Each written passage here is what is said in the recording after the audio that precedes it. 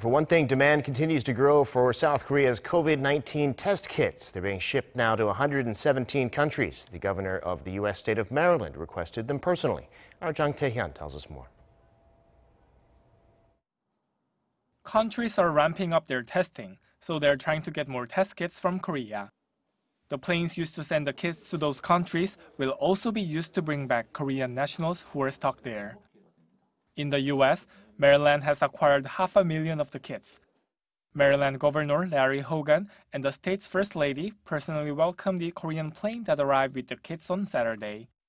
Hogan and his wife, who was born in Korea, had asked for the kits in March in a personal request to the South Korean ambassador, and he acknowledged the role of top Korean officials in providing them.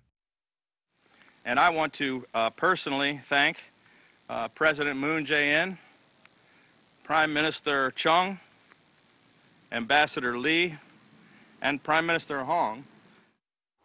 South Korea's Ministry of SMEs and Startups says the country's exports of virus test kits of all kinds in January and February worth 21 million US dollars, which is around 36% more than a year earlier.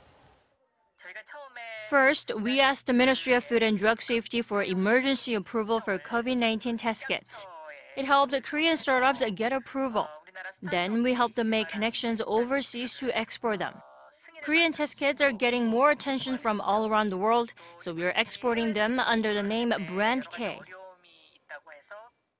The Ministry of SME said that South Korea is shipping the kits to 117 countries, including Italy, Morocco, and Saudi Arabia, and this unexpected demand has led to a shortage of labor for these manufacturers. Jang Tae-hyun, Arirang News.